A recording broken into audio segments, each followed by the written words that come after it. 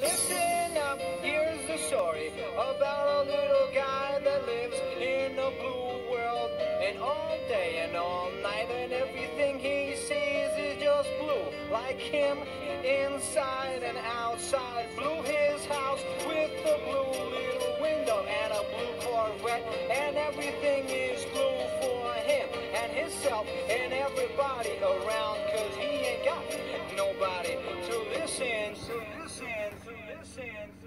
I'm